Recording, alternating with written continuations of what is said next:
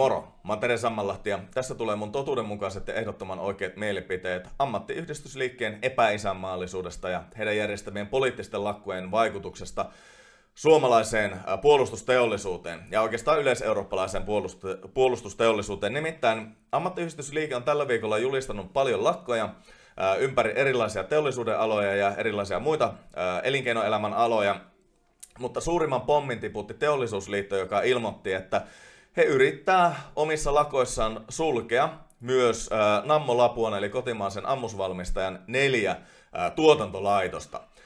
Ja tämä on tässä maailmantilanteessa tietenkin aivan täysin käsittämätön päätös ottaen huomioon, että, että Eurooppa, NATO, Länsi-Suomi yrittää jollain tavalla valmistautua ja varautua siihen, että Venäjä eskaloi kriisiä, jonka se on, tai sotaa, jonka se on aloittanut Ukrainassa. Ja tietenkin Länsi yrittää auttaa myös Ukraina omilla ammus- ja tarviketoimituksilla. Ja No tietysti liittopamput ja, ja tuota AY-vasemmisto riensi sitten puolustelemaan liittoja ja teollisuusliittoa tässä, että no joo, ei sillä ole mitään vaikutusta yhtään mihinkään. Esimerkiksi puolustusministeriö kun oli kertonut, että lakolla ei ole vaikutusta Ukrainalle annettavan materiaalin määrään tai laatuun, niin tätä tietenkin sitten onnesta soikeana esimerkiksi Timo Nevaranta, Teollisuusliiton yhteiskuntasuhdepäällikkö jako ja tietysti monet muut. Samoin SAK puheenjohtaja Jarkko Eloranta riensi kertoon ministeri Satoselle, että lakko ei vaikuttaisi Ukrainan tilanteeseen ja viittasi Nammolapua Oyn toimitusjohtaja Raimo Helasmäen sanomiseen jossain lehdessä, että, että tuota, Helasmäki ei usko, että lakolla olisi vaikutusta Ukrainan vietävään apuun.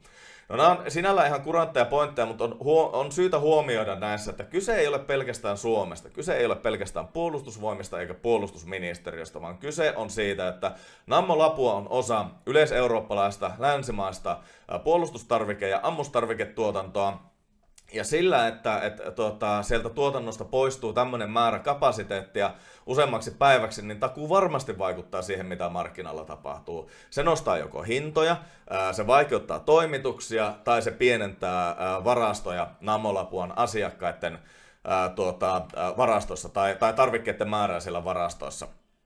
Ja tuota, Namolapuon tehtaanjohtaja, tehtaan tehtaanjohtaja Pekka Himanka sanoi Ylelle, että, että tietysti lakolla olisi toteutuessaan vaikutuksia myös Ukrainalle. Tämmöiset huomiot on kuitenkin ammattiyhdistysvasemmistossa jätetty kokonaan huomiota. No Himanka sanoi, että eihän Namolapua vie mitään suoraan Ukraina, vaan PV ja, ja valtio.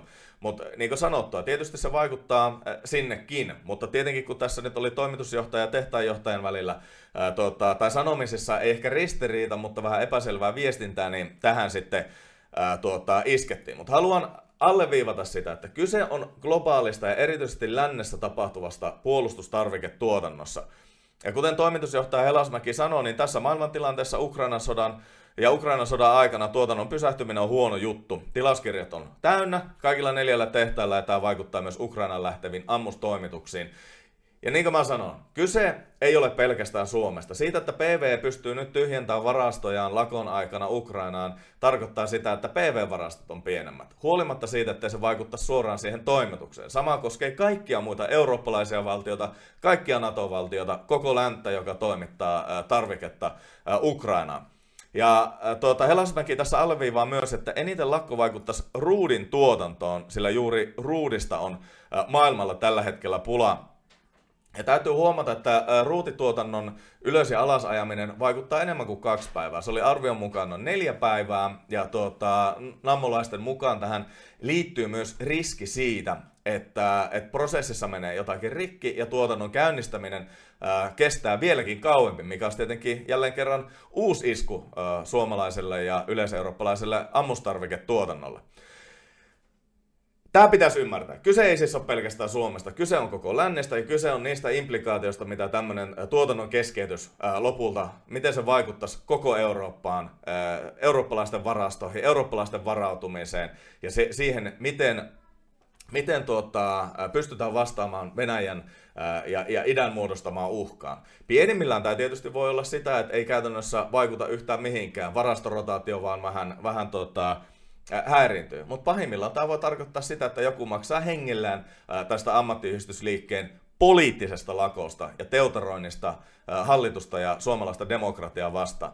Kaikista, tai no kaikista kaikista, mutta yksi käsittämättömistä jutuista on myös se, että tuota, teollisuusliiton yhteiskuntasuhdepäällikkö Nevaranta ja Voltti antoi lausuntoja Ylelle ja Voltti, anteeksi, pääluottamusmies Voltti tuolta Namolla puolta niin sanoi, että ettei, ettei tehdasta vastaan ole mitään hampaankolossa, vaan tehdas on hyvä työpaikka. On aivan älyvapaata, että kun on hyvä työpaikka, on hyvät suhteet työnantajan, niin sitten kuitenkin käytetään tämmöistä asetta hallitusta vastaan, siis vaan demokraattisesti valittua hallitusta vastaan. Ja tässä teollisuusliitto, kuten muukin ammattiyhdistysliike, osoittaa vain sen, että kyse ei ole minkään sorttisesta työntekijöiden oikeuksien ajamisesta tai saati mistään isänmaallisuudesta tai yleisestä hyvästä, vaan kyse on ammattiyhdistysliitto pomojen loputtomasta vallanhimosta. Ja Tähän mun mielestä työministeri Satonen oivasti vastasi, että hallitus vie eteenpäin näitä työmarkkinamalleja. Ei niissä mitään erityistä kiistelyä ole hallituksessa. Se on vaan malli, jota ammattiyhdistysliike ei hyväksy, koska se vie niiden pomojen valtaa pikkusen enemmän yrityksille ja työntekijöille. Ovi toki uusille neuvotteluille pidetään auki, mutta on ihan mielipuolista ajatella, että SAK ja muut ammattiyhdistysliitot ja tai keskusjärjestöt istu sinne neuvottelupöytään, koska Ennen joulua, joulukuun alussa, niin SAK vaati hallitukselta, ne, hallitukselta yhteisten neuvotteluiden aloittamista ja uhkas silloin jo lakoilla. No toki uhka, uhannut jo paljon aikaisemmin. Se oli 7. päivä 12.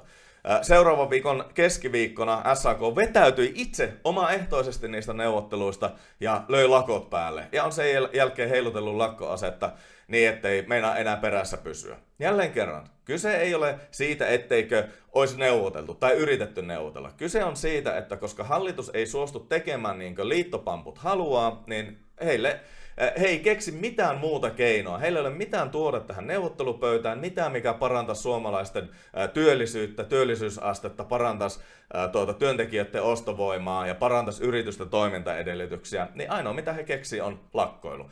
Ei se tietenkään hyödytä ketään, ei se hyödytä työntekijöitä, yrityksiä, valtiota, koko yhteiskuntaa. Ainoa, jota se jollain tavalla ehkä mahdollisesti hyödyttää, on liittojen tuota, pamput, ja, eli pomot, eli johtajat jotka, joille tietenkin palkka juoksee samalla, kun ää, tuota, duunari värjöttelee lakkovahtina pakkasessa.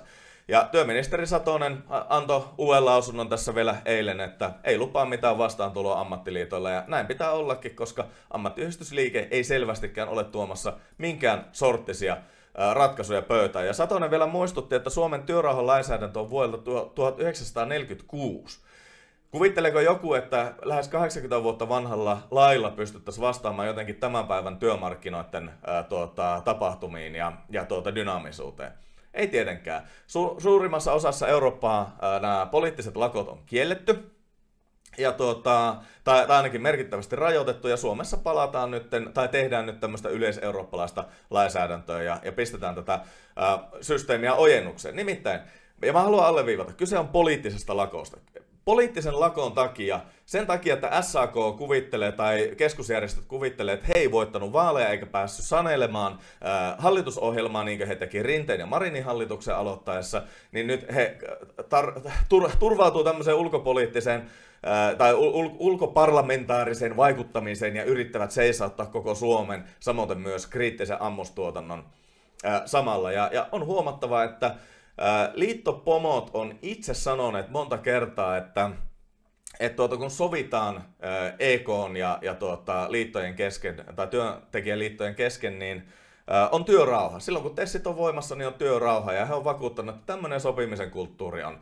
hyvä asia. No nyt semmoinen, meillä on sopimukset voimassa, tessit on voimassa ja muuta, ja silti ää, keskusjärjestöt ja, ja tuota, liitot uhkailee lakoilla, niin mun mielestä on hyvä kysymys, että voiko liittoihin ja liittojohtajiin enää luottaa sopimuskumppaneina? Mun mielestä tämä on aika selkeä merkki, että ei, ja sen takia ei välttämättä myöskään tarvitse palata enää neuvottelupöytään sen kummemmin. Hallitus tekee nämä ää, tuota, työmarkkinauudistukset, joita meidän verrokkimaissa tehtiin jo 30 tai 40 vuotta sitten, ja, ja tuota, ammattiyhdistysliike saa siinä sitten teutarojen vastaan sen, mitä haluaa.